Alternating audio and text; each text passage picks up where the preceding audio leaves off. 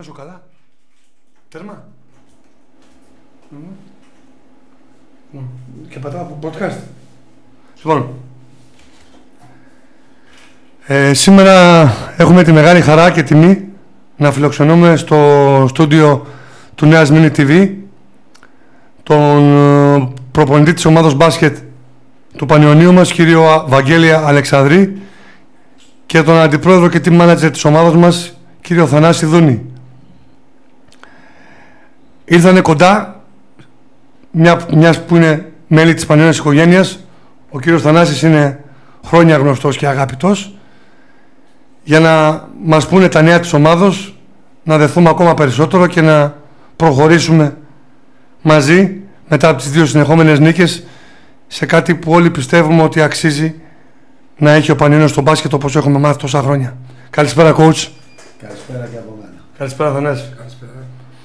Καλησπέρα. Λοιπόν, εγώ δεν έχω να κάνω τίποτα ερωτήσεις πολύπλοκες κτλ. Εδώ είμαστε φίλοι της ομάδας μας, ούτε επαγγελματίες ούτε τίποτα.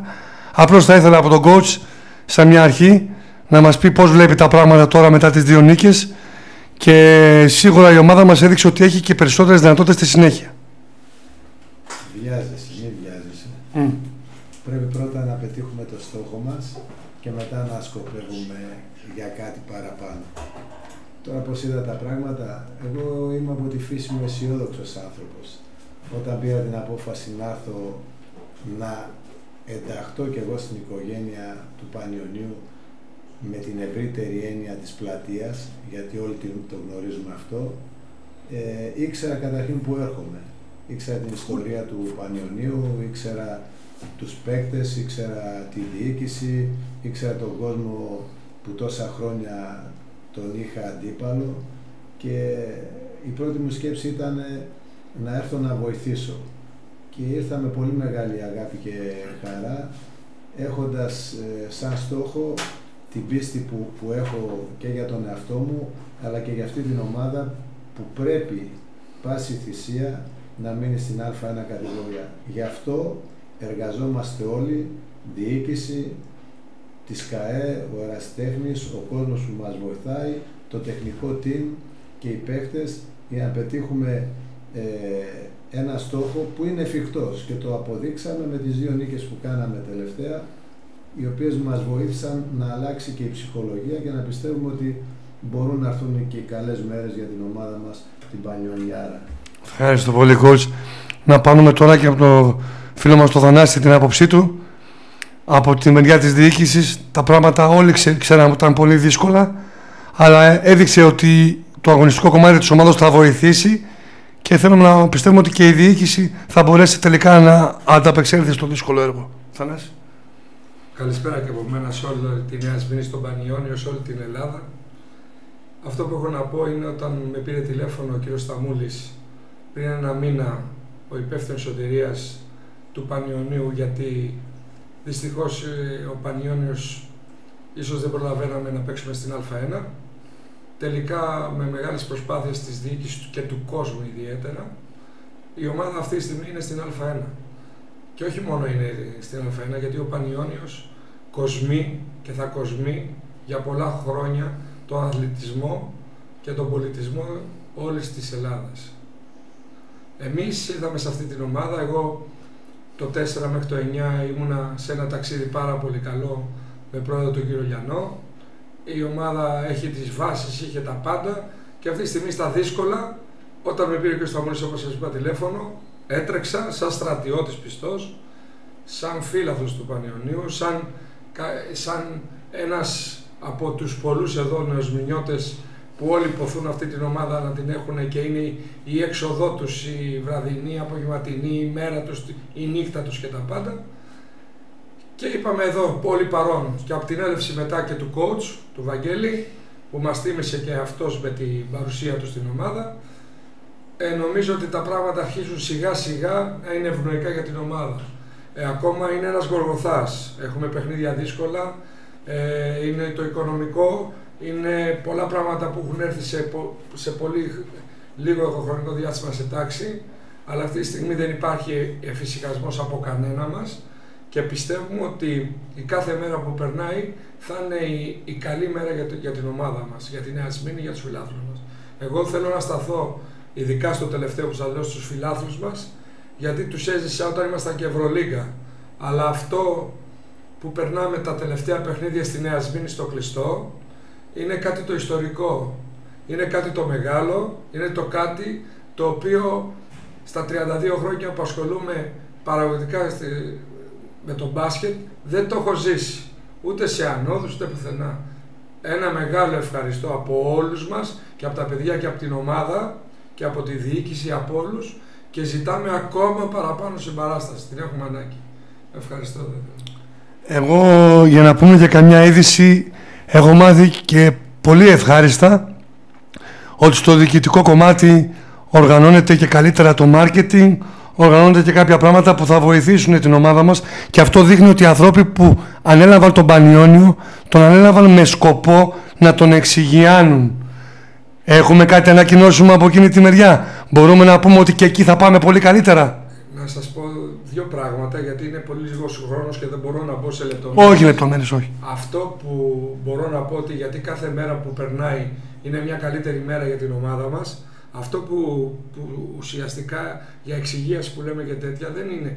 είναι. Είναι κάτι το οποίο αυτή τη στιγμή ο Πανιόνιος στηρίζεται αποκλειστικά και μόνο στον κόσμο. Σε εμά δεν υπάρχει ο μεγάλος μεγαλομέτωχος με την έννοια ότι δεν έχουμε κάποιον που θα βάλει και 200 και 300 ή 500 ή και όλοι προσπαθούμε με κάποια διαφορετικά μέτρα όπως είναι το marketing να μπορέσουμε να φέρουμε και χορηγούς και διαφημίσεις για να μπορέσει αυτή η ομάδα να σταθεί επάξια και να είναι εκεί που τη αρμόζει. Μην ξεχνάμε ότι ο Πανιόνιος τα τελευταία χρόνια είναι μέσα στις τέσσερις καλύτερες ομάδες της Ελλάδας.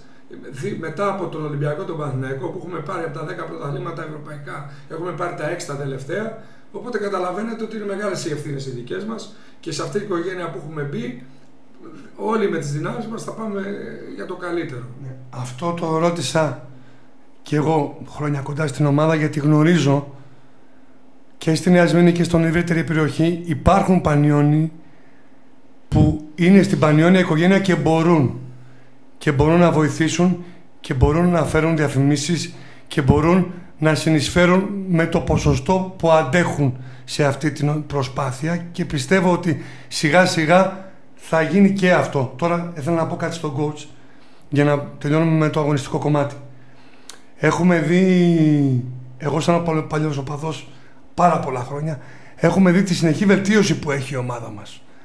Ε, εσείς πού προσβλέπετε στα περιθώρια τα αγωνιστικά, όχι σε λεπτομέρειες να έχουμε, γιατί π.χ. ας πούμε προχτές θα μπορούσαμε να κερδίσουμε πολύ, πολύ ευκολότερα, αλλά ίσως τους ψηλούς, ίσως τα rebound που είναι και ομαδικό κομμάτι, να μιλήσουμε και λίγο αγωνιστικά, έχουμε μια υστέρηση. Αυτό έχει να κάνει με το ότι η ομάδα είναι πολύ σύντομο χρονικό διάστημα που είναι μαζί φυσικά ή έχει να κάνει με το ότι θα βρει και την ψυχολογία και τα πατήματά της να πάει ακόμα καλύτερα. Καταρχήν έχω να πω για το παιχνίδι με τον Άρη αν δεν έπαιζε τόσο παθητικά κλειστές άμυνες ζώνης που τις χρησιμοποίησε και απλή ζώνη και ματσάπ για πάνω από 30 λεπτά η διαφορά θα ήταν ε, πολύ μεγαλύτερη. Ε, γιατί σε αυτό το κομμάτι δεν έχουμε δουλέψει πολύ, άλλωστε δεν πίστευα και ότι ομάδες σαν τον Άρη θα αισθανθούν μια υπεροχή του Πανιωνίου σε τόσο έντονο βαθμό ώστε να, να αγωνιστούν κατά αυτόν τον τρόπο. Ε, άλλωστε δεν, δεν μας ενδιέφερε... Με άμυνα ζώνης Ναι, ναι. Δεν μας ενδιέφερε και η διαφορά. Μας ενδιέφερε πρωτίστως η νίκη, μας ενδιέφερε να παίξουν όλα τα παιδιά, να, να δείξουμε στον κόσμο ότι έχουμε βελτιωθεί και αυτό κάναμε και πήραμε και τα έτσι. Αλλά έχουμε και περιθώρια ακόμα. Έτσι. Τώρα, όσον αφορά την ομάδα, το αγωνιστικό κομμάτι, εγώ Κώστα έχω ένα πράγμα να σου πω. Ότι φεύγω. Χρήστος, Χρήστος. Χρήστος, συγγνώμη. Mm. Χρήστο, ένα έχω πράγμα έχω να σου πω. Ότι φεύγω κάθε μέρα από το γήπεδο χαρούμενος. Πάω, πάω στο. Όπως απόψε. Όπως σήμερα που και πριν βγούμε στον αέρα, είπα ότι ήταν η καλύτερη προπόνηση από την μέρα που ήρθα. Εγώ δεν είμαι από τους προπονητές που αλλάζουν. Αυτό είναι η αλήθεια, έτσι, καθαρά. Αλήθεια, καθαρή. Και ε, ε, αυτή τη συζήτηση είχαμε και με τους συνεργάτες μου μετά την προπόνηση, γιατί την κατευχαριστήθηκαν όλοι. Και είδαμε την πρόοδο όχι μόνο στα νέα τα παιδιά που κατά κάποιο τρόπο θεωρείται και φυσιολογικό γιατί είναι νέοι, Δεν έχουν τις εμπειρίες.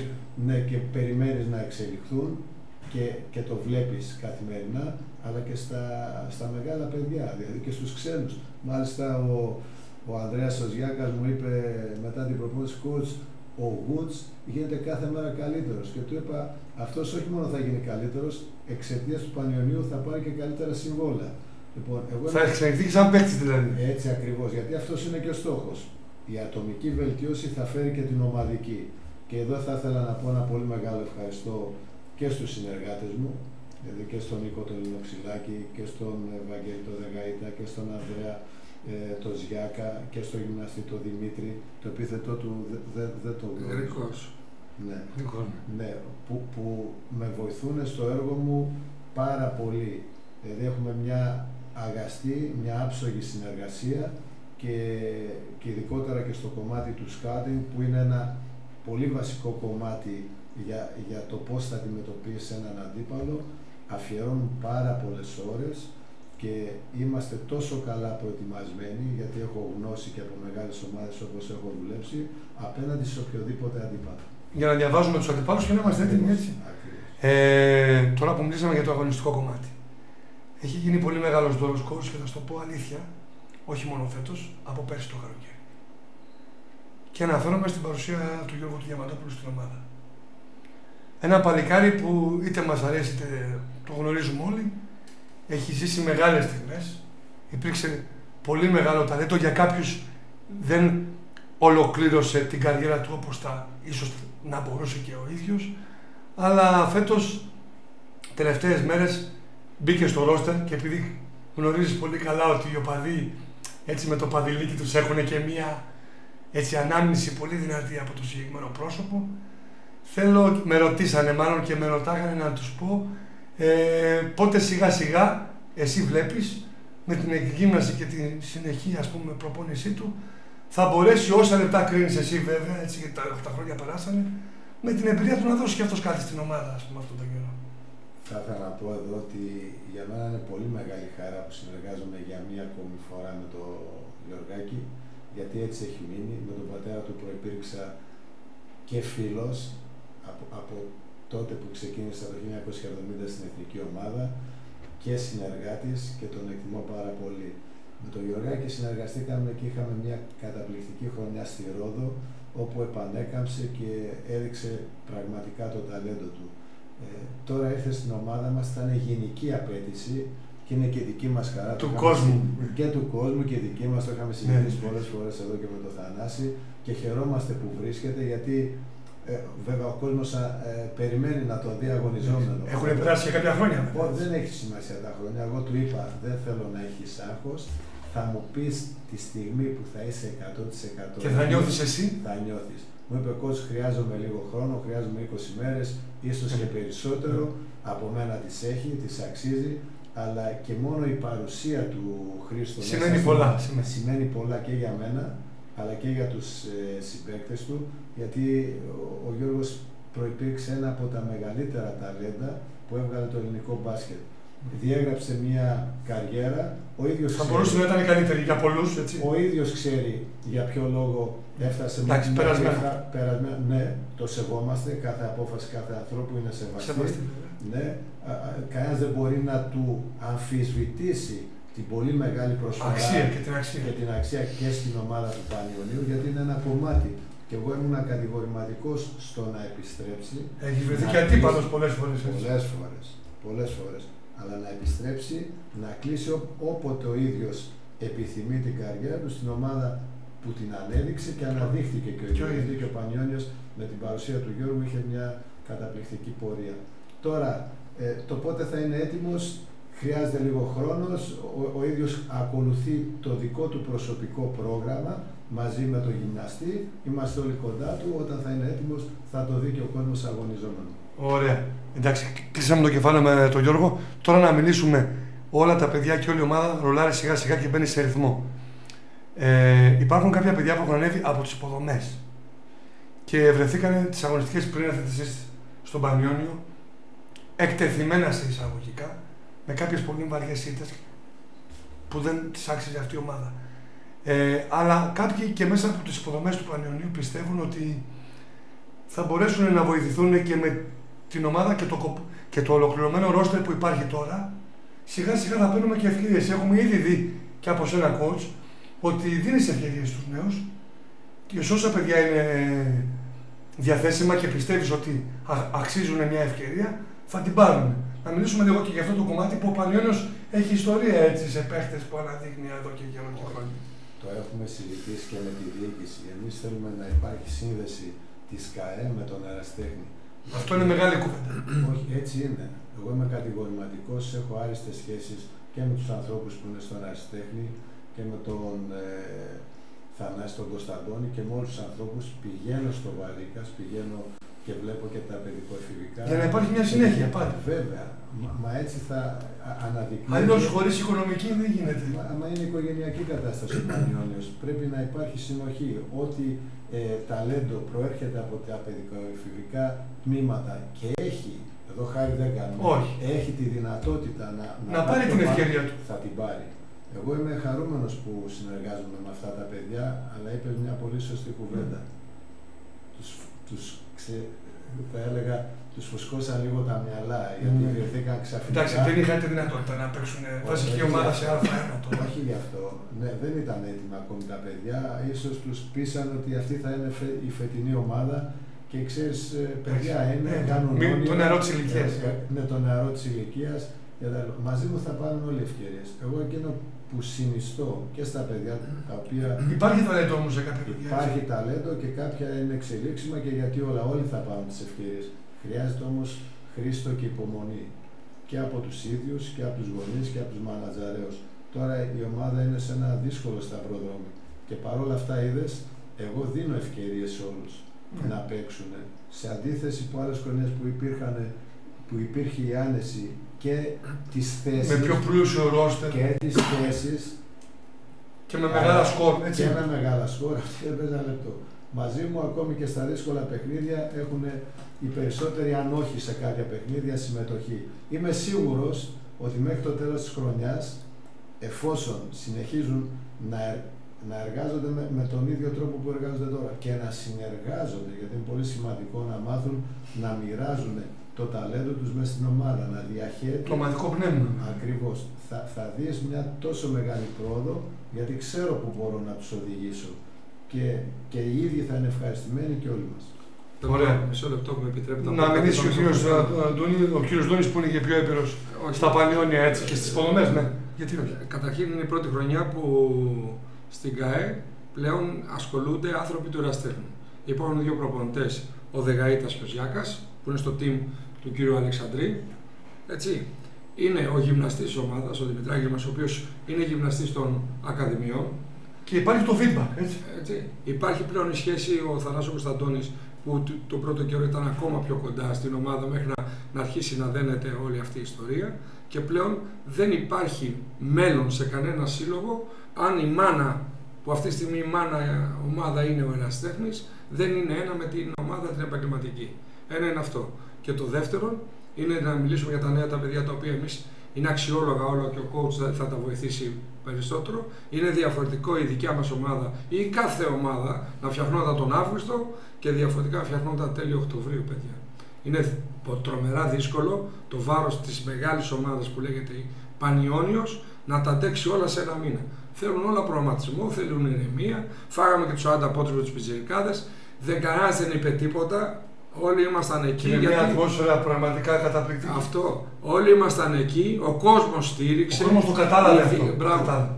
Εμείς καθίσαμε εκεί παρόντες και είπαμε: Όχι, εδώ είμαστε. Θα την κάνουμε τη δουλειά και θα τη βγάλουμε από τη εις στην όλη αυτή την ιστορία. Και σιγά σιγά δεν υπάρχει βιασύνη. Εδώ με τη βοήθεια του coach και όλων, όλων γιατί εδώ χρειάζεται όλοι. Ε, Κανένας δεν πρέπει να λείπει η ομάδα αυτή θα πέσουν και τα νέα παιδιά. Αυτό σημαίνει άλλωστε και είμαστε στην πανιόνια οικογένεια. Έτσι. έτσι. Αν από τον ερασιτέχνη στο ποδόσφαιρο, αν από τον ερασιτέχνη στο μπάσκετ δεν βγαίνουν τα νέα παιδιά να προοδευτούν στην αντρική ομάδα, τότε ποια είναι η συνέχεια και ποια είναι η οικογένεια.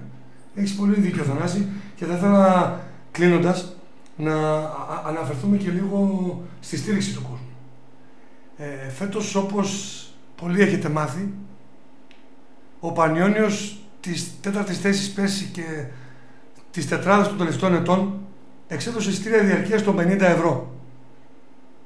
Για ολόκληρη τη χρονιά. Καλά ακούτε. Λοιπόν, πολλοί κόσμος δεν το είχε μάθει, πολλοί κόσμος ίσως coach, εγώ τα λέω όπως τα πράγματα. Είχε απογοητευτεί. Και πολλοί coach έλεγε όλα καλά, προσπαθούν, αλλά 0 στα 5. Και πολλοί κόσμος είχε απογοητευτεί. Με την ευκαιρία της σημερινή που κάναμε τις δύο συνεχόμενες νίκες, δείξαμε ότι όχι μόνο θα προσπαθήσουμε, θα έχουμε και αποτέλεσμα. Θα έχουμε και αποτέλεσμα. Γιατί ο, ο παδός γνωρίζει πολύ καλά ότι μπορεί να σε καταλαβαίνει, αλλά από την άλλη κοιτάει και το ταμπλό. Και σου λέει, βρε μου, τον πελά μου, ας πούμε, δεν έχουμε κάνει νίκη. Τώρα είμαστε στην ευχάριστη θέση να μιλήσουμε και να πούμε ότι κάναμε τις νίκες και είμαστε μια ομάδα. Κάπου άκουσα τον τόνο του Κοντσιάκτα που έλεγε ότι ξεχάστε τον Πανίρο που ξέρετε. Δεν ξέρω αν το έχεις πληροφορηθεί. Ο Πανίρο από χτες είναι ομάδα. Λοιπόν, θα ήθελα να, να καλέσουμε τον κόσμο και ο, και ο μια φορά. Δεν έχει σημασία που έχουν περάσει κάποιες αγωνιστικές να πάρει ένα εισιτήριο διαρκείας γιατί. Να το πάρει για να νιώσει ότι είναι μέσα στην οικογένεια. Είναι και αυτός και συνεισφέρει όπως όλοι οι άλλοι. Ναι, να πω. Γιατί ήθελα να πω στη διοίκηση που είχες πει Θανάση, ότι οι άνθρωποι δεν είναι λεφτάδες. Οι άνθρωποι είναι άνθρωποι σαν και εμάς.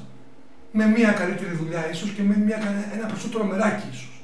Έτσι. Και αυτό θα ήθελα να το αναφέρω γιατί έχω δει ότι ο κόσμος στην αρχή ήταν μαζεμένος. Τώρα λοιπόν είναι η ευκαιρία και μέσα στις γιορτές θα προωθηθεί και το τμήμα marketing που έχω μάθει και θα πάρουν και κάποια δωράκια όποιος ενισχύσει με εισιτήρια διαρκείας των 50 ευρώ για όλη τη χρονιά τον Πανιόνιο θα είναι τμήμα της οικογένειάς μας. Είναι έτσι. Θα είναι τμήμα ενεργό της οικογένειάς μας και θα είναι συμμέτοχος στο αν έρθει πέρα σε αυτή η αποστολή ή όχι.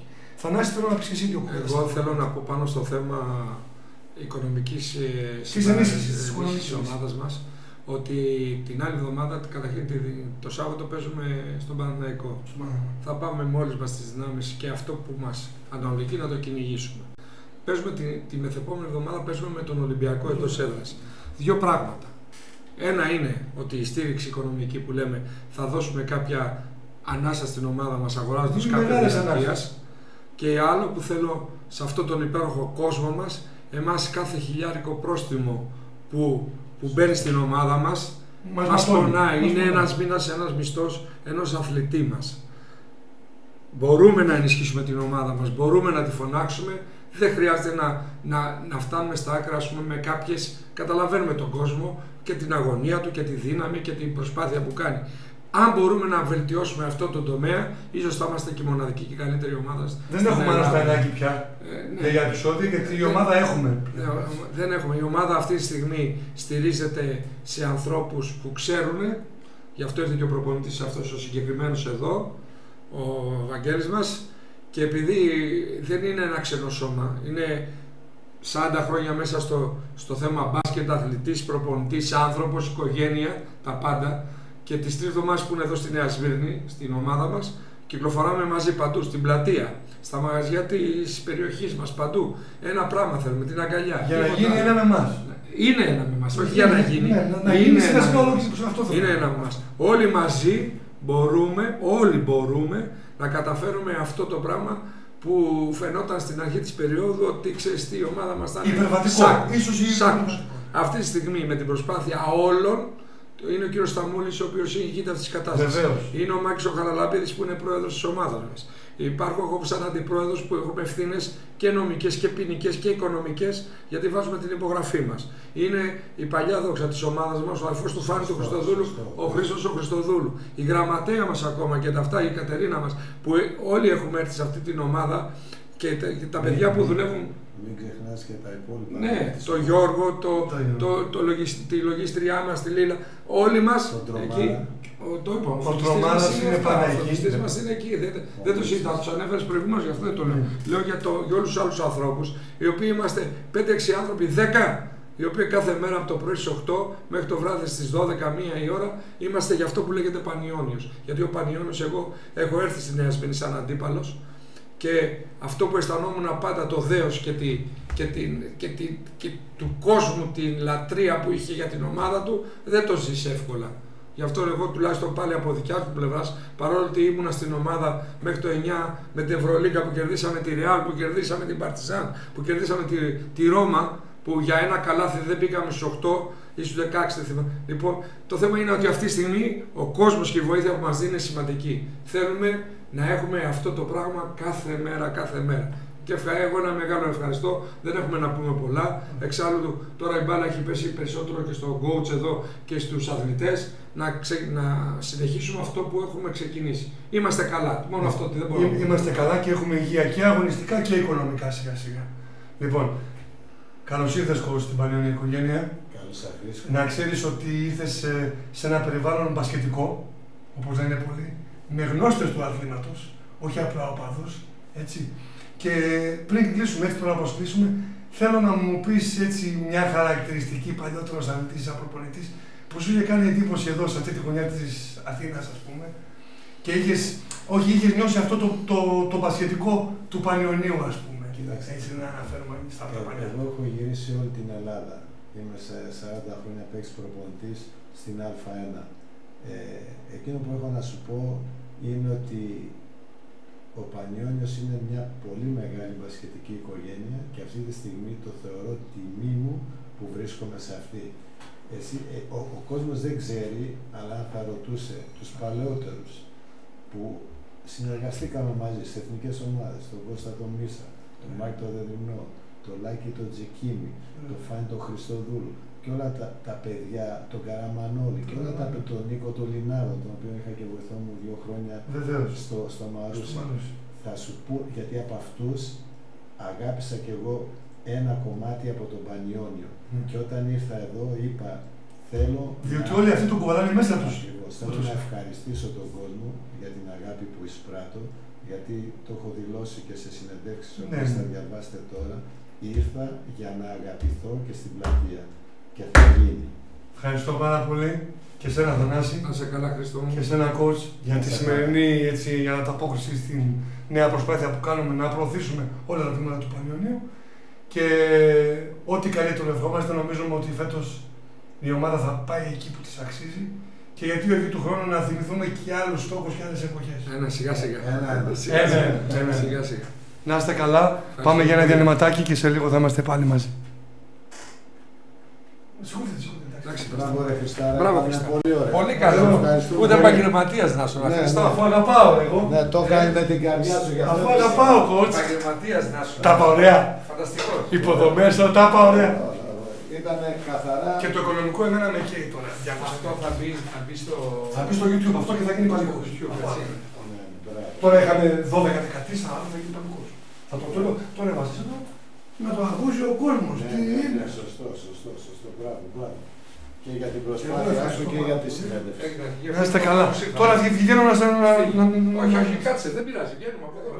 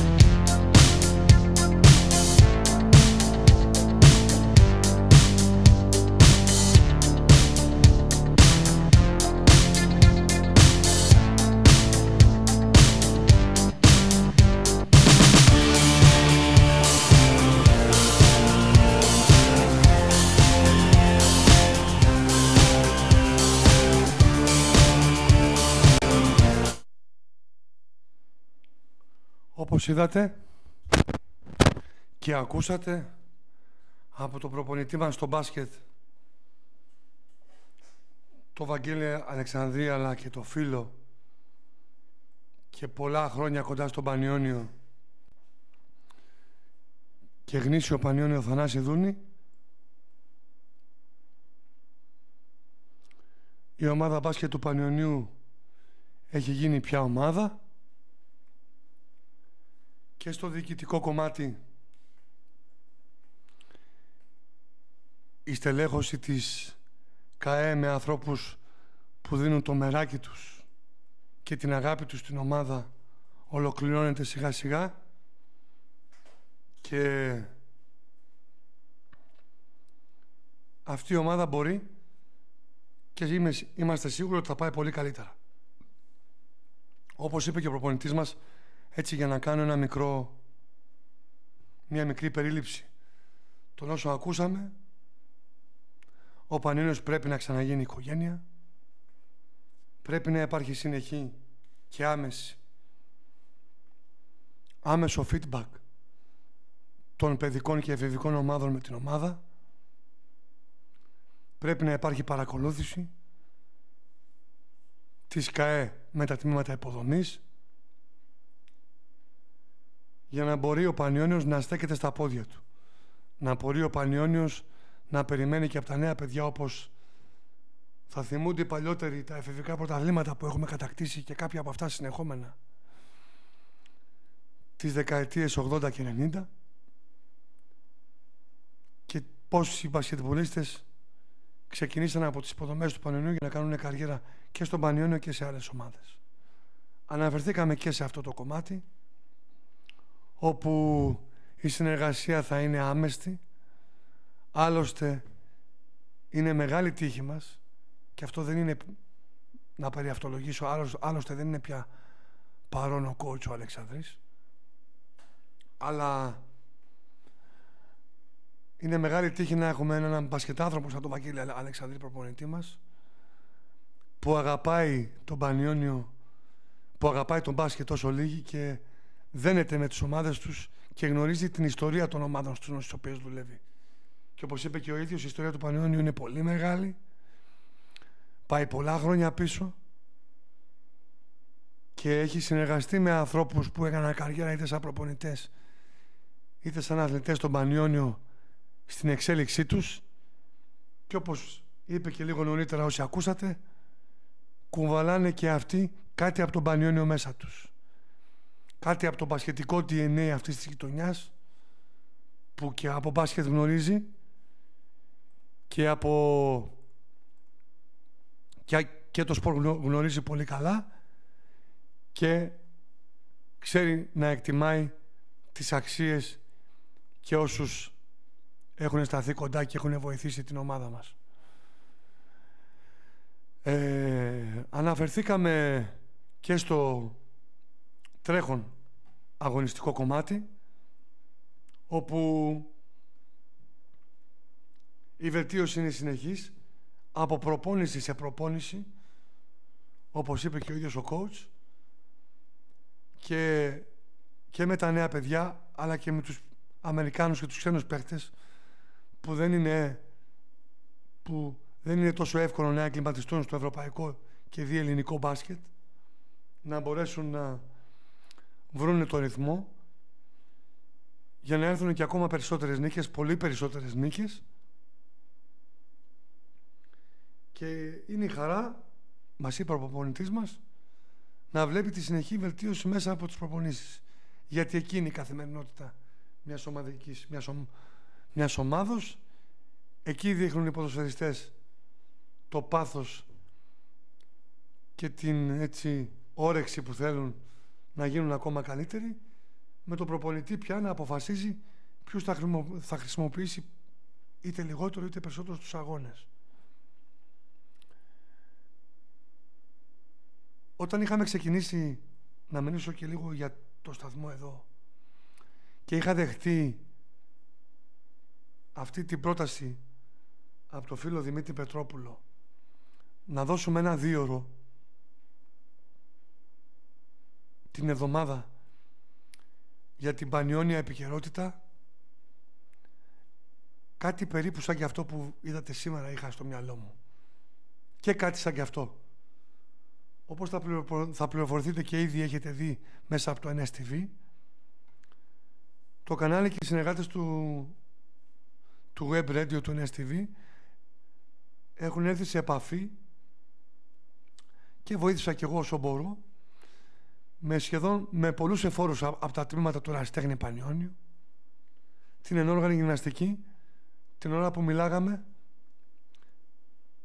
ένα επιτελείο με την κάμερα βρισκόταν κάτω στο, στο γήπεδό μας και στο κλειστό για να κάνει ένα αφιέρωμα στο τμήμα της ενόργανης γυμναστικής το οποίο σε λίγες μέρες θα μπορέσετε να το παρακολουθήσετε μέσα από το κανάλι του σταθμού. Στο, στο βόλεϊ, στο γυναικείο βόλεϊ, στο γυναικείο μπάσκετ, στο πόλο και σε όλα τα τμήματα που φοράνε το σήμα του ιστορικού στη φανέλα. Έτσι, όπως μου το είχε πει τέλη Ιουλίου ο, ο φίλος Δημήτρης, ξεκινήσαμε δειλά-δειλά για να λέμε την πανιόνια επικαιρότητα και να φτιάξουμε και αυτό το κλίμα το οικογενειακό και να το νιώσουμε γιατί όχι μέσα από τις σύγχρονες τεχνολογίες. Εντάξει, σήμερα κάποιοι κομπιάσανε και δεν είχαμε στο live chat έτσι ερωτήσεις άμεσες και ζωντανές προς τον coach. Προτιμήσανε οι περισσότεροι και ήταν αρκετοί που παρακολουθήσανε την εκπομπή live να δούνε τι έχει να πει έτσι και να ενημερωθούν για την πραγματικότητα που αντιμετωπίζει τη δύσκολη αλλά με πολλές αισιόδοξες νότες. Το τμήμα μπάσκετ του Πανιωνίου και πιστεύω τα πήγαμε θέλω να πιστεύω πολύ καλά. Τα πήγαμε αρκετά καλά. Και ο Θανάσης μήνυσε από τη μεγάλη της διοίκησης με την ομοία αλήθεια και για τις υποδομές που το έργο πρέπει και θα συνεχιστεί και, και την αγαστή συνεργασία που πρέπει να υπάρχει από κάτω προς τα πάνω ώστε το μπάσκετ να λειτουργεί σαν ένα ενιαίο άθλημα και όχι με κάποιους που διοικούν το ένα ημέτερους με ήττα και κάποιους άλλους να διοικούν το, το άλλο ημέτερος με ύψιλον Όλα αυτά τα έχουμε πληρώσει στον Πανιόνιο. Τα ημέτερα με ήττα ή με ύψιλον ακόμα και πρόσφατα είτε στο ποδόσφαιρο είτε και σε άλλα τμήματα του εραστέχνη τώρα για να μην υπεραυτολογήσω η έλλειψη της ενότητας έχει πληρωθεί. Έχει πληρωθεί με αποτέλεσμα μία ομάδα μόνο από το εραστεχνικό τμήμα του Πανιωνίου, το αντρικό πόλο, να βρίσκεται φέτος στην πρώτη κατηγορία, στην πρώτη τη τάξη κατηγορία. Με τις υπόλοιπες να πρωταγωνιστούν στις χαμηλότερες κατηγορίες, στην Α2 δηλαδή, και κάποιες να έχουν πέσει και, και στη Β. Μια νέα αρχή και μια νέα αισιόδοξη νότα όπως είδαμε όλοι μας δημιουργείται στο μπάσκετ γενικότερα της ομάδος μας και πιστεύω γιατί σαν απλός οπαδός αρκετά χρόνια έχω γνωρίσει και κάποιους ανθρώπους στον Πανιόνιο και παίκτες και παράγοντες πιστεύω ότι αυτοί οι άνθρωποι και το μεράκι έχουν και τη γνώση έχουν και την εμπειρία έχουν και αποκτούν σαν παράγοντες εννοώ και όλα θα βαδίζουν ακόμα καλύτερα αγωνιστική με αγωνιστική. Ήμουνα λίγο συγκινημένος απόψε γιατί μπορέσαμε έτσι να κάνουμε το προσωπικό ίσως όνειρο για πανιόνια τηλεόραση. Μπορεί να σας ακούγεται περίεργο, για πανιόνιο κανάλι. Πανελλήνιας εμβέλειας, για πανιόνιο ραδιόφωνο. Πανελλήνιας εμβέλειας, έστω μέσα από το διαδίκτυο, έστω μέσα από το web, web radio της περιοχής μας και της βάσης του Πανιωνίου μας της Νέας Μήνης, μπορέσαμε απόψε να εγκαινιάσουμε ένα κύκλο που έτσι, όχι συνεντεύσεων, έτσι, ενημερωτικό, ενημερωτικό κύκλο με ανθρώπους που είναι στα πανιόνια δρόμενα στο αγωνιστικό αλλά και διοικητικό κομμάτι και ελπίζω πολύ σύντομα να, να έχουμε και από άλλα τμήματα τη δυνατότητα να φέρουμε εδώ για να δει ο κόσμος ζωντανά και να ρωτήσει κιόλας. Σήμερα ίσως ήταν η αρχή και δεν το ένιωθε έτσι. Αυτούς που τρέχουν τμήματα του Πανιωνίου, αυτούς, αυτούς που τρέχουν το πόλο, αύριο το μπάσκετ, σήμερα το ποδόσφαιρο, το βόλεϊ, να μάθουν τον αγώνα που δίνουν, να ενημερωθούν για τις υποδομές τους, που είναι πολλές και εκεί γίνεται πραγματικά σπουδαία δουλειά από ανθρώπους με μεράκι κυρίως και με αγάπη για το σπορ που ακολουθούν και δουλεύουν και σιγά σιγά ίσως και με κάποιον συνεργάτη έχω πολλούς φίλους που έχω ζητήσει και έχω απευθυνθεί να με βοηθούν κάποιες εβδομάδες γιατί κάθε Δευτέρα είναι λιγάκι δύσκολο και τα προσωπικά μου να βάλω σε τάξη και και εγώ να είμαι αυτός που πρέπει έξω από την πανιόνια ζωή μου. Και όλα θα λειτουργήσουν όπως πρέπει διότι ο Πανιόνιος είναι η ιστορία του ελληνικού αθλητισμού σε πολλά σπορ αν όχι σε όλα και είναι ένα κομμάτι που οι αξίες που κουβαλάει και οι διαδρομές και οι άνθρωποι που τον έχουν υπηρετήσει λένε πολλά. Φτάνουν για να δείξουν την κατεύθυνση του μέλλοντος. Έτσι. Αλλά είπα πολλά τώρα. Ας πάμε για ένα σύντομο διαλυματάκι και σε λίγο θα αναφερθούμε και σε άλλα σπορ και θα πούμε και κάποια πράγματα για την πανιόνια επικαιρότητα πέρα από το μπάσκετ, για το πόλο, για το ποδόσφαιρο και για τα άλλα σπορ.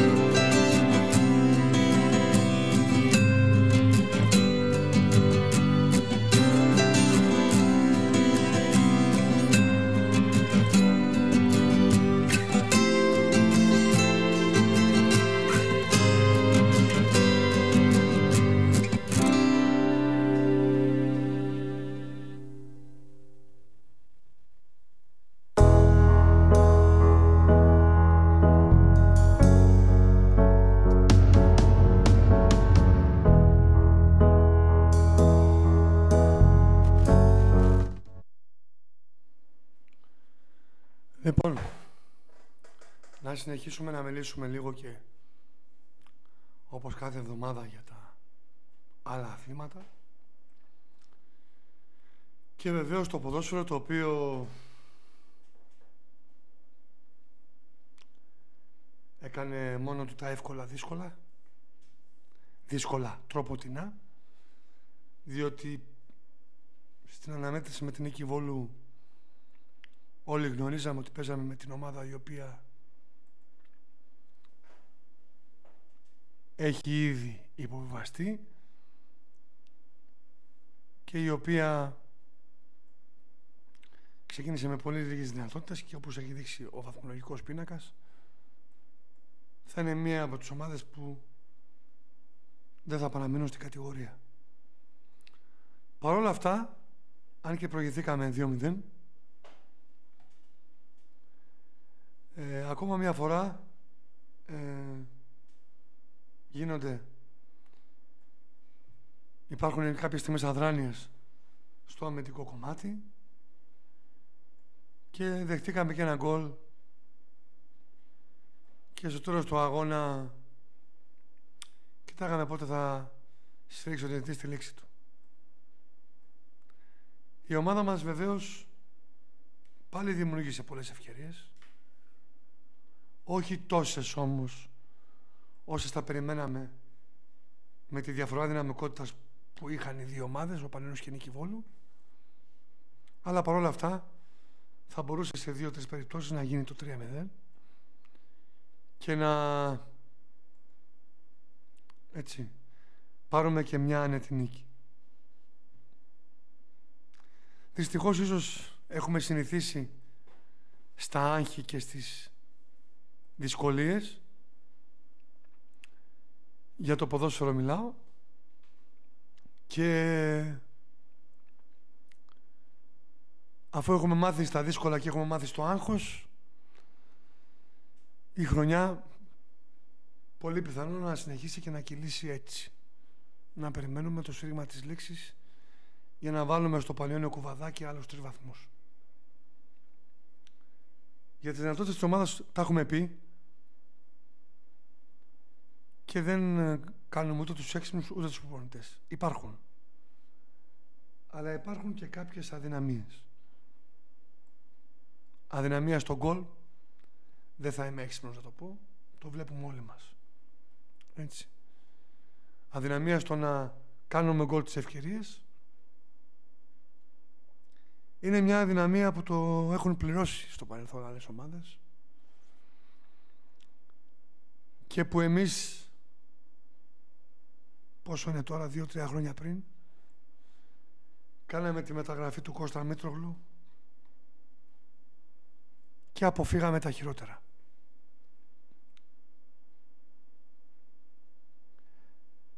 Ήταν άλλες εποχές, ήταν άλλο το ρόστερ εκείνης της εποχής, αλλά η βαθμολογική κατάσταση, κακά τα ψέματα, δεν μας αξίζει. Αλλά είναι αυτή που είναι. Και θέλοντας τέσσερις αγωνιστικές, πέντε να τελειώσει ο γύρος, είτε μας αρέσει είτε δεν μας αρέσει, η ομάδα του Πανιωνίου στο ποδόσφαιρο θα είναι για τους αθλητικογράφους αν όχι μία από τις υποψήφιες θα είναι κοντά στον κίνδυνο της παραμονής ή μη. Σαφέστατα και υπάρχουν ομάδες χειρότερες από μας και περισσότερες από τέσσερις αλλά άλλο αυτό και άλλο η στιγμή βαθμολογική θέση. Ελπίζουμε και η διοίκηση να έχει δει κάποια πράγματα και είμαστε σίγουροι ότι οι άνθρωποι που είναι και τραβάνε το φετινό Γολγοθά από τα αποκαίδια που βρήκαν από, τις, από τους περσινούς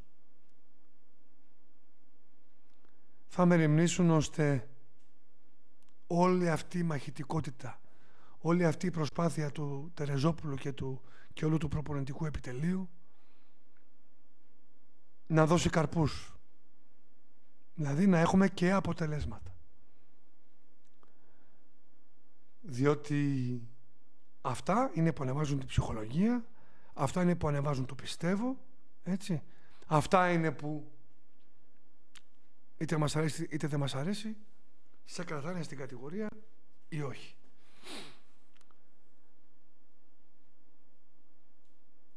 Η παρουσία του Ιμπαγάσα του Κάνιο που λένε στην ομάδα μας βεβαίως και είναι καταλητική αλλά δεν μπορούμε να τα περιμένουμε όλα από αυτόν. Γιατί και αυτός είναι πολλά χρόνια ποδοσφαιριστής και μπορεί να μην είναι στο peak της απόδοσής τους σε κάθε αγωνιστική. Έχει βοηθήσει πάρα πολύ και θα βοηθήσει και στη συνέχεια. Αλλά περιμένουμε δίπλα του και άλλοι ποδοσφαιριστές όχι μόνο οι καινούργοι και οι άπειροι όπως ο Τασούλης και ο Φούντας που έχουν δείξει πολλά δείγματα της αξίας τους και θα βελτιώνονται συνεχώς αλλά και οι πιο έμπειροι πρέπει να κρατήσουν την απόδοσή τους σε υψηλά επίπεδα πρέπει τη μαχητικότητα που είχαμε δει στις πρώτες αγωνιστικές να τη βγάζουν συνεχώς και το ομαδικό πνεύμα. Και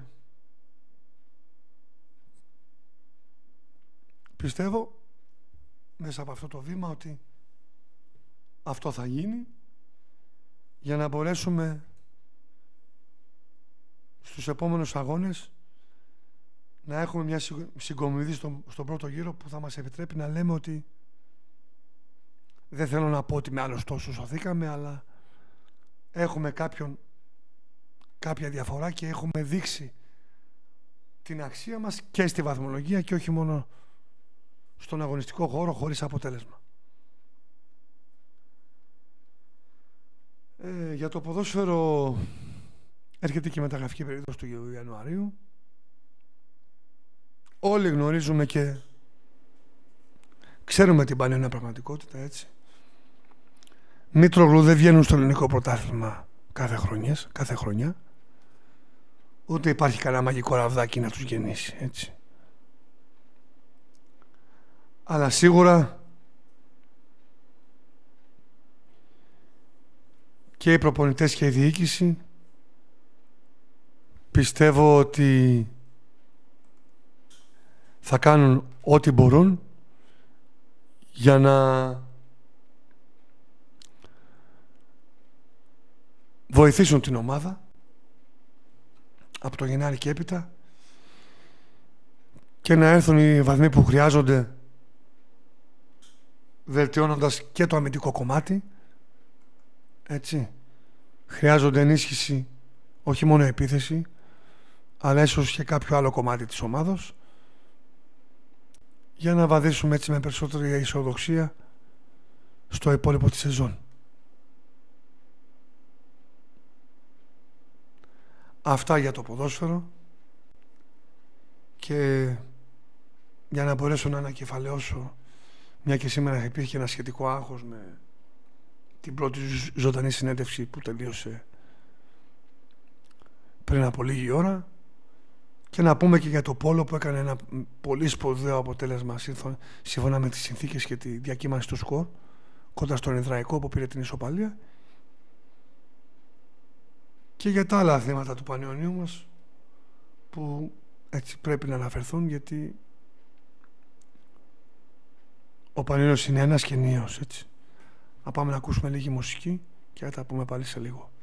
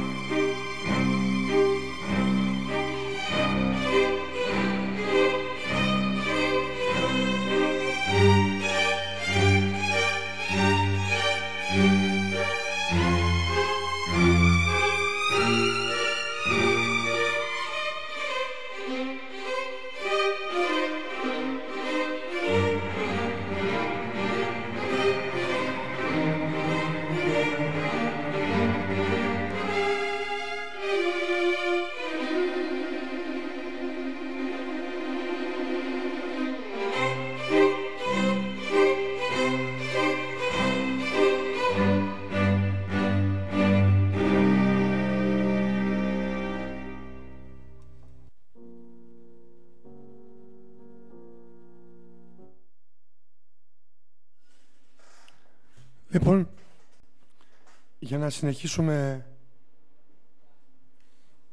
στο ποδοσφαιρικό κομμάτι της ομάδας μας.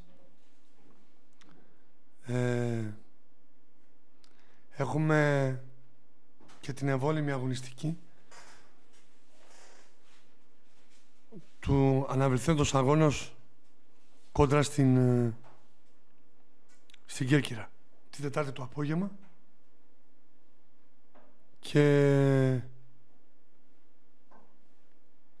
εκεί θα κρυθούν πολλά μιας που είναι μια από τις ομάδες κοντά στη βαθμολογία μας και η νίκη θα μπορεί να χαρακτηριστεί ως διπλή. Έτσι παίρνεις τους βαθμούς εσύ και δεν τους παίρνει ο αντι... ένας από τους αντιπάλους όπως δείχνουν τα πράγματα για την παραμονή στην πρώτη εθνική. Ε, ο βοηθός προπονητής του, του Δημήτρη Τριζόπουλου, ο Σύφης Βενάκης, είπε ότι η ομάδα είναι έτοιμη και πάμε μεθαύριο το απόγευμα, ώρα 5, στο γήπεδο της Κέρκυρας να διεκδικήσουμε ένα θετικό αποτέλεσμα, έτσι. Διότι χρειάζονται σίγουρα και οι βαθμοί εκτός έδρας, καθώς στα εντός έδρας παιχνίδια ίσως είναι πολλές φορές και πιο δύσκολο να σπάσεις κλειστές άμυνες και ομάδες που έρχονται για να αμυνθούν κυρίως και να κρατήσουν το μηδέν παίζοντας με αντιπιθέσεις. Σίγουρα πρέπει να κυνηγήσουμε αποτελέσματα και εκτός έδρας, ειδικά με ομάδες που δεν αποτελούν φόβετρο σίγουρα και μπορούμε να τις τυπήσουμε στα ίσα και με έξυπνο και παιχνίδι συγκεντρωμένο από όλους να μπορέσουμε να πάρουμε και το βαθμό ή βαθμούς. Ε, όπως θυμάστε στην προηγούμενη εκπομπή ε, είχα μιλήσει και είχα αναφερθεί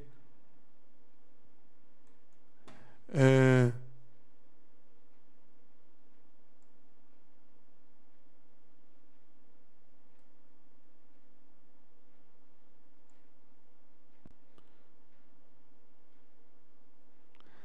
σχετικά με κάποιες αποφάσεις της Επιτροπής Επαγγελματικού Αθλητισμού που αφορούσαν την ΠΑΕ Πανιόνιος, έτσι, αν θυμάστε καλά. Είχε, είχε να κάνει με τη μη καταβολή, μη την έγκαιρη καταβολή της εγγυητικής επιστολής για συμμετοχή στο πρωτάθλημα από την ΠΑΕ Πανιόνιος και την ΠΑΕ Όφη. Και τότε είχα πει ευλόγως, έτσι, και χωρίς να χρειάζεται να έχω ρωτήσει κάποιους ή να ξέρω κάτι περισσότερο ότι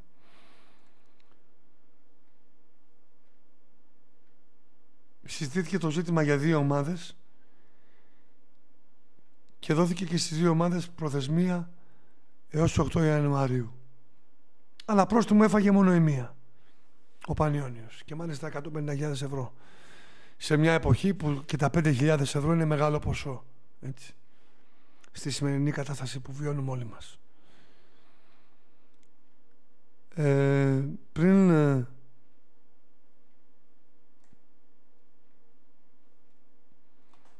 πολύ πρόσφατα, πριν λίγες ώρες, πριν κάποιες ώρες, ε, η ΠαΕ Πανίνος ε, ενημέρωσε ότι όντως η Επιτροπή Επαγγελματικού Αθλητισμού δεν ήταν αρμόδια για να επιβάλλει κάποιο πρόστιμο. Και η προσπάθεια συνεχίζεται μέχρι τις 8 Ιανουαρίου για να καταβληθεί σύμφωνα με τη διορία που έχει δοθεί η εγγυητική επιστολή και από την ΠαΕ Πανιόνιος.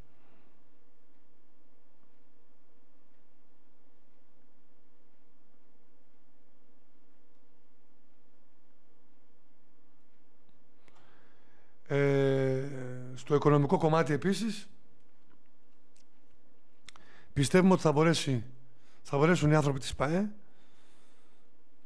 να εντάξουν την ΠΑΕ Πανιόνιος στη ρύθμιση για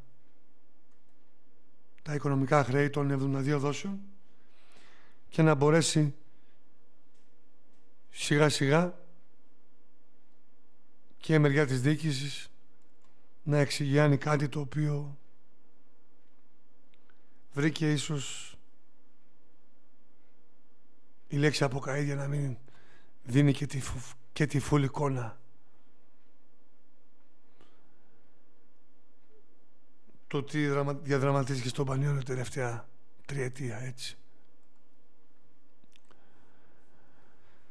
Ε, αυτά με το ποδόσφαιρο.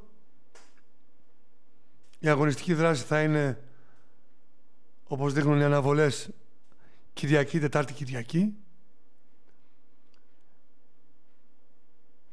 Μιας και θα υπάρξει ευόλυμη αγωνιστική και αρχές του έτους. Κάποια Τετάρτη για το παιχνίδι που αναβλήθηκε κοντά στον Πλατανιά, εκτός έδρας. Και η προσπάθεια συνεχίζεται με την ευχή η παρουσία του κόσμου κάποια στιγμή να είναι μεγαλύτερη, κάποια στιγμή όλοι να συνειδητοποιήσουν για ποιους αγωνίζεται στη, στην τελική η κάθε ομάδα; Για ποιους βγαίνει στο γήπεδο, ποιους θέλουν να αντικρίζουν έτσι οι ποδοσφαιριστές; Το μόνο σίγουρο είναι ότι δεν θέλουν να αντικρίζουν άδειες καρέκλες. Αυτό είναι μια μεγάλη κουβέντα που κάποια στιγμή ίσως μπορέσουμε αν και η δίκηση της ΠΑΕ τρέχει πάρα πολλά θέματα να, να μιλήσουμε με κάποιο από τη διοίκηση και να να μιλήσει με την ομοία αλήθεια για να καταλάβουν κάποιοι μέσα από τι δίνει των προβλημάτων που έχει αναγκαστεί να περάσει τη φετινή σεζόν η ΠΑΕ Πανιόνιος. Λοιπόν, αναφέρθηκα στο Πόλο νωρίτερα και οφείλω να ομολογήσω ότι η ομάδα του Αλέκου του Βάσου του φίλου μου θα εκπλήξει όλη την κατηγορία. Εγώ δεσμεύομαι και το λέω από αυτό εδώ το βήμα. Η ομάδα αυτή που είχε στόχο την παραμονή και όπως μας είπε και ο ίδιος ο προπονητής με τον αρχηγό το Θωμάκο κάποιοι σε εισαγωγικά γνωρίζονται στο σπορ και παλιοί παράγοντες τους έλεγαν πώς θα σωθείτε και φέτος; Θα τρίβουν τα μάτια τους. Η ομάδα Πόλο λοιπόν όπως είχα πει και την προηγούμενη εβδομάδα είχε ένα δύσκολο παιχνίδι με τον Ιδραϊκό. Μη σας ξεγελάει το όνομα. Είναι νεοφώτιστη ομάδας στην κατηγορία, όντως. Αλλά έχει στη τάξη τους πολύ έμπειρους αθλητές, όπως ο Φλέγκας, ο τερματοφύλακας του Πανιωνίου τις εποχές που παίζαμε Ευρώπη και διεκδικούσαμε ευρωπαϊκό τρόπεο είχαμε φτάσει και τελικό ο Κοκκινάκης. Τώρα μου διαφεύγουν και τα ονόματα. Τρεις-τέσσερις πολύ έμπειροι άθλητες που αν και στο τέλος της καριέρας τους όχι δεν αναφέρομαι στο Φλέγκα ο Βλοντάκης. Σίγουρα τα ονόματα αυτά θα σας λένε πολλά έτσι. Αυτοί οι αθλητές λοιπόν αγωνίζονται στον Ιδραϊκό ο οποίος Ιδραϊκός βρισκόταν στο παιχνίδι του Σαββάτου στη, στο γήπεδο της Λιφάδας με τέσσερα γκολ μπροστά αλλά το στένος και η πίστη της δυνάμεις των αθλητών μας τους φέρανε στο τρίτο οκτάλεπτο να κάνουν το σκορ από 7-4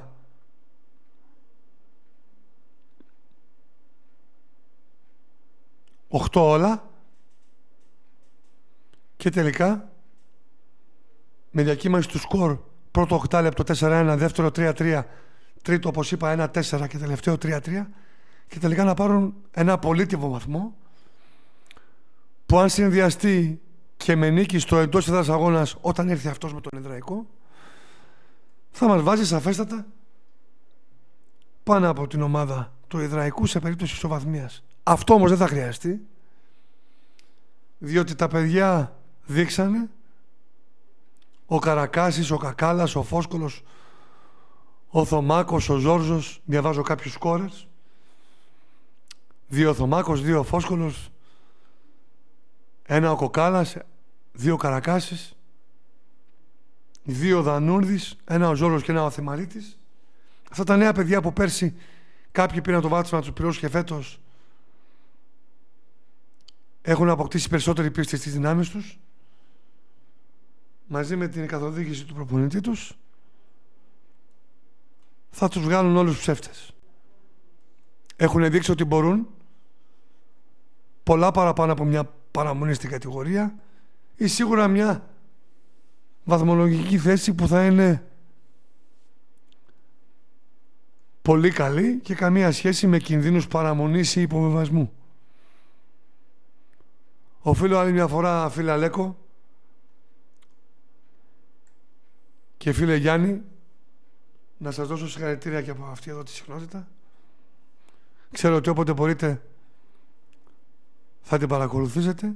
Αυτή τη στιγμή άλλωστε είναι η ώρα προπόνησης πάνω στο κολυμπητήριο της Αρτάκης. Και να σας πω ότι και ο κόσμος το βλέπει και οι πιο πιτσιρικάδες οι πάνθυρες σίγουρα θα βοηθήσουν και φέτος για να τα πάτε ακόμα καλύτερα και να είσαστε η έκπληξη του παραδείγματος γιατί όχι αφού τα λεγόμενα των ειδικών σε εισαγωγικά σας στέλνανε σχεδόν σίγουρα πεσμένους θα πάρουν την απάντησή τους μέσα στην πισίνα. Ε, θέλω να αναφερθώ αυτή την εβδομάδα μιας και είχα παρουσία ο ίδιος και στο τμήμα του πρωταθλήματος. Το, τμήμα, το τμήμα του πρωταθλήματος στον Πανιόνιο είναι ένα. Γιατί όποιος ανατρέξει και θυμηθεί θα δει ότι ο ιστορικότερος σύλλογος της χώρας έχει ένα πανελληνίο πρωτάθλημα. Και αυτό το πανελληνίο πρωτάθλημα φυσικά ήταν α, τώρα μπορεί να μπερδέψω και τις χρονιές πριν 5 ή 6 χρόνια στο γυναικείο μπάσκετ. Έτυχε να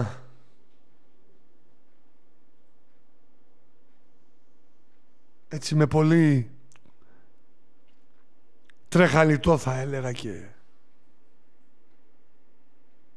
και υδρότα να προκάμω που λέμε και να παρακολουθήσω από το ξεκίνημα του δεύτερου ημιχρόνου των αγώνα των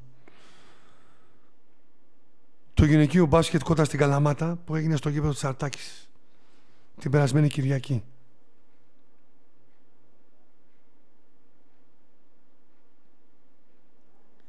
Και εκεί παραβρέθηκα φυσικά.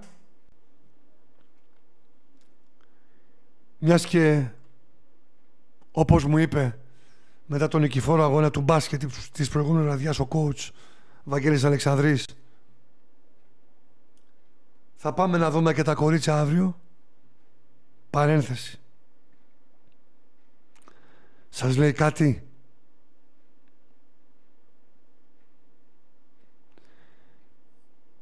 Όχι για το ήθος του ανθρώπου που είναι γνωστό αλλά για την αγάπη του για το, για το άθλημα του μπάσκετ γενικότερα. Όπως τους είδατε εδώ τον Αντιπρόεδρο Θανάση Δούνη και τον προπονητή μας Βαγγέλη Αλεξανδρή έτσι ήτανε. Πολύ πριν την έναξη του αγώνος. Και παρόντες στο αγώνα του γυναικείου μπάσκετ κοντά στην Καλαμάτα που ανεξαρτήτως αν είναι από τους ουραγούς της κατηγορίας δυσκόλεψε πάρα πολύ τη δικιά μας ομάδα. Ήταν μπροστά σχεδόν σε όλη τη διάρκεια του αγώνα πλην του τελευταίου δεκάλεπτου.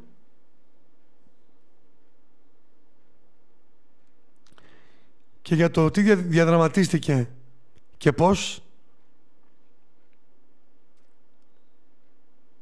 και τι ρόλο παίζει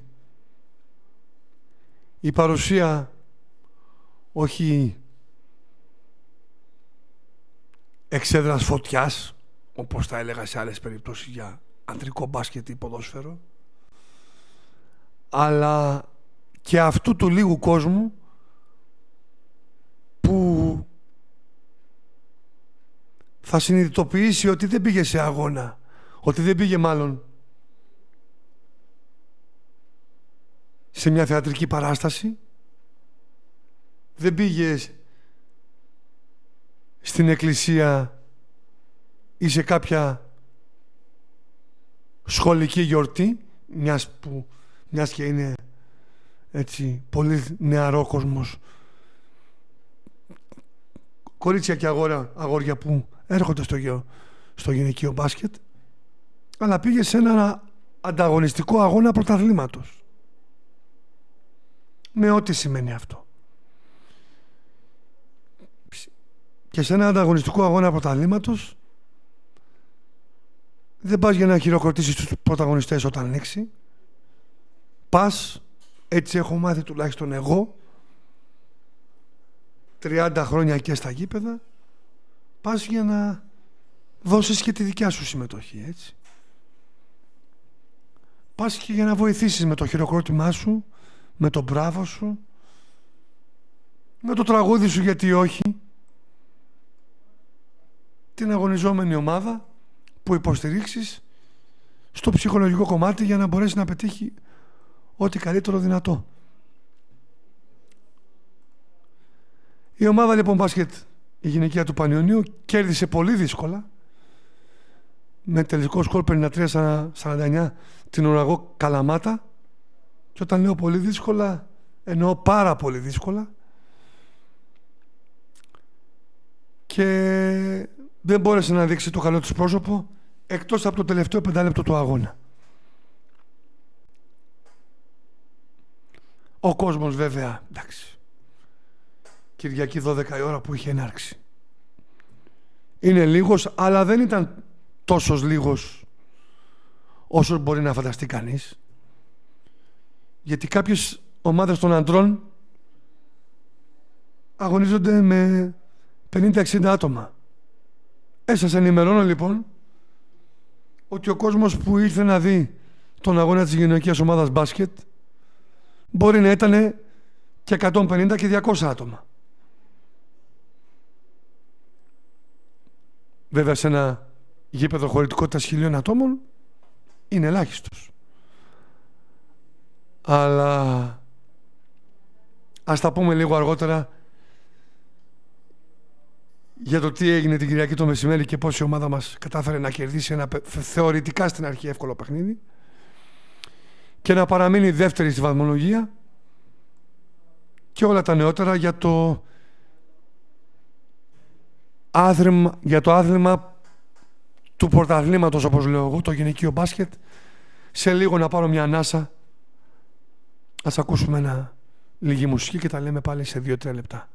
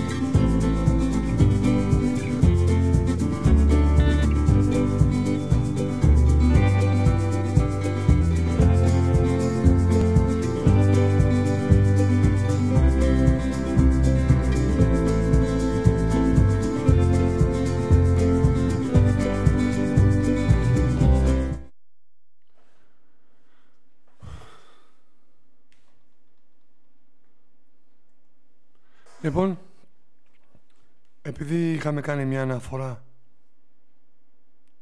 για τον αγώνα του γυναικείου μπάσκετ που έγινε που ξεκίνησε 12 ώρα το μεσημέρι της Κυριακής και τελικά ήταν νικηφόρο απέναντι στην ουραγό ομάδα της Καλαμάτας.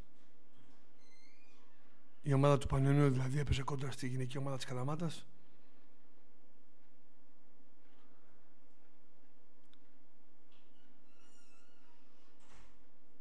και θα πω μια ιστορούλα σαν ανέκδοτο πριν κλείσουμε και τη σημερινή εκπομπή με κάτι έτσι πιο εύθυμο θα έλεγα και πιο θετικό. Βρισκόμασταν με κάποιους παλιούς φίλους, πανιόνιους, χρόνια γνώριμους, γύρω στους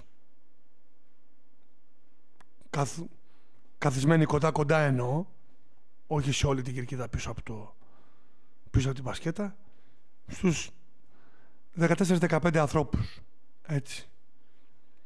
Και η ομάδα ήταν συνεχώς πίσω, πίσω στο σκορ μέχρι το 32-33 ας πούμε του τελευταίου δεκαλέπτου. Όταν κάποια στιγμή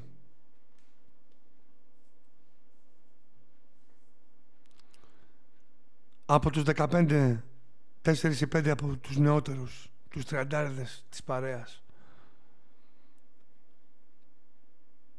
έτσι. Προσπάθησαν να ενισχύσουν την ομάδα έτσι με κάποιο σύνθημα της Κερκίδας. Παρέσυραν και τους διπλανούς τους θα έλεγα αυτούς τους μετρημένους. Και σιγά σιγά πλάκα στην πλάκα για το τελευταίο πεντάλεπτο υπήρχαν δύο παρεούλες. Έτσι.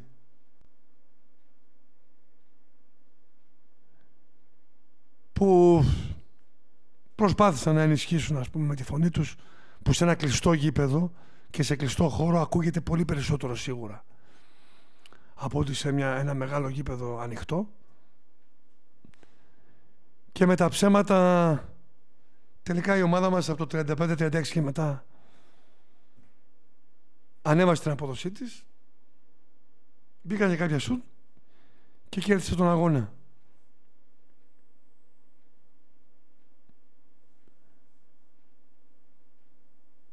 Έτσι, χαμογελώντας, είπα ότι εάν μπορούν 15-20 άνθρωποι να βοηθήσουν στο ελάχιστο έτσι λίγο να ρεσταθούν και να σε και να νιώσουν κάτι από την κερκίδα οι αθλήτριες ε, φανταστείτε τι μπορούν να κάνουν όχι οι 20 αλλά οι 200, οι 300, οι 500 έτσι. Και αυτό το αναφέρω γιατί λείπει πολύ ο παλμός της κερκίδας στο ποδόσφαιρο. Ακόμα και οι ένθερμοι οπαδοί μας.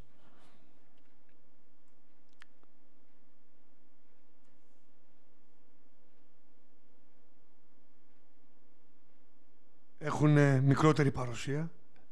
Για τη θύρα 3 αναφέρομαι. Και αυτό δείχνει πολλά και τα συμπεράσματα είναι πολλαπλά.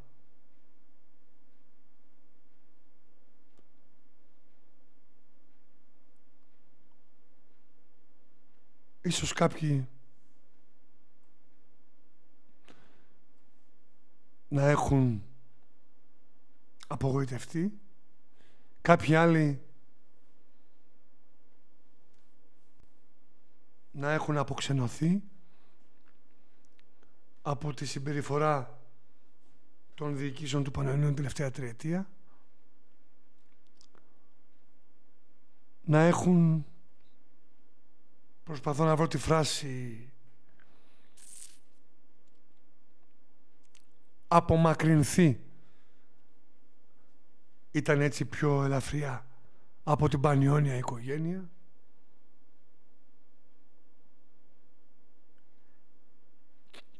και να το θέλουν ίσως και οι μεγαλύτερες ηλικίας που είτε μας αρέσει είτε δεν μας αρέσει. Αυτή είναι η πλειοψηφία του κόσμου στον Πανιόνιο. Αυτή έχει ζήσει μεγάλες ομάδες.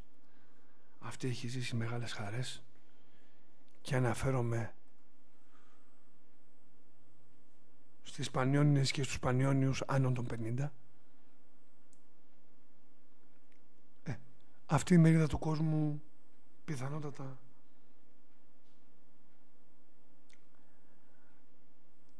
Να μην βαστάει άλλες στεναχώριες.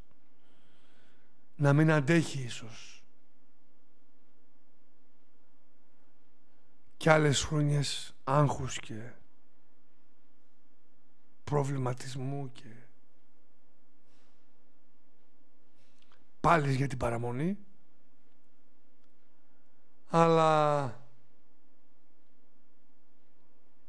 αυτό δεν σημαίνει ότι και οι νεότεροι που έχουν περισσότερες αντοχές είναι όλοι και όλοι 600-700 άνθρωποι. Έτσι.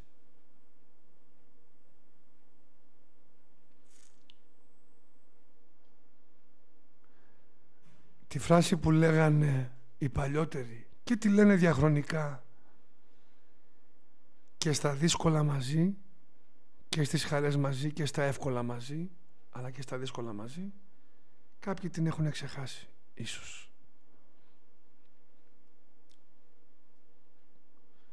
Δεν πειράζει. Είναι στο χέρι της ομάδος στο χέρι της διοίκησης και της διοίκησης και του αγωνιστικού τμήματος να φέρουν και αυτούς πίσω. Η κρίση σίγουρα έχει τα αποτελέσματά της. Το δεκάρικο σίγουρα δεν περισσεύει από κανέναν. Αλλά αυτό θα το λέγαμε ίσως εάν ο Πανιόνιος έκοβε 2.500 εισιτήρια. 2.000 εισιτήρια. Τότε κάποιος θα σου έλεγε ότι ναι, Χρήστο, αλλά άλλοι τόσοι δεν το έχουν. Και όπως περνάνε οι μήνες, όλο και περισσότεροι δεν θα το έχουν. Και θα πηγαίνεις από τα, από τα, από τα 2.500 στα 2, στα 1.800 και στα 1.500. Η εικόνα του αγωνιστικού χώρου και κυρίως των κερκίδων στο ποδόσφαιρο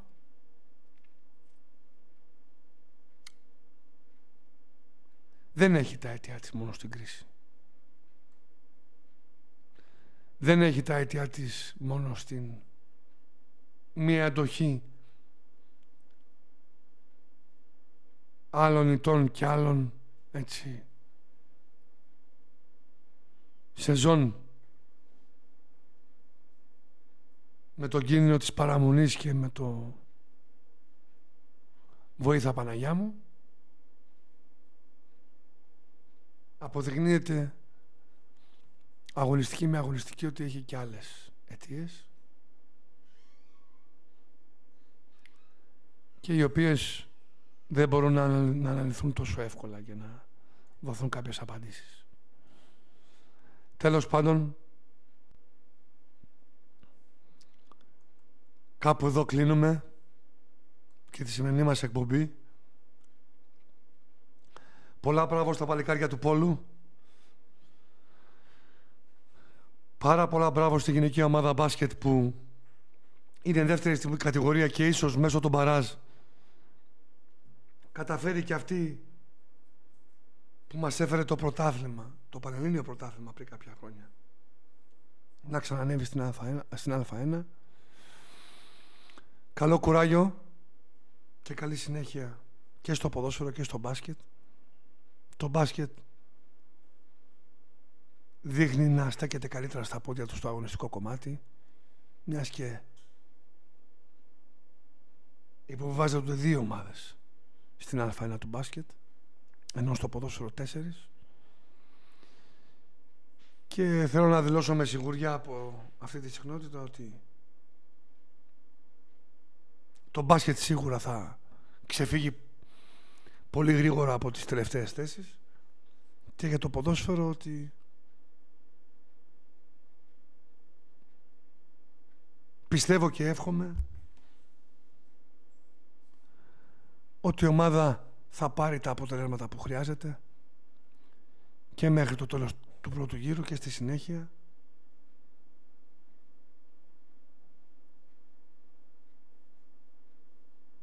και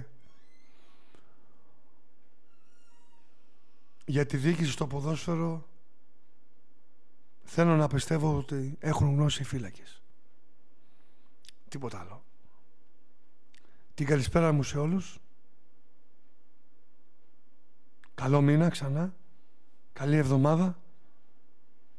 Και θα τα πούμε την άλλη Δευτέρα. Με νίκες. Πιστεύω και στο ποδόσφαιρο και στο μπάσκετ και στα άλλα αθλήματα του Πανιόνιου.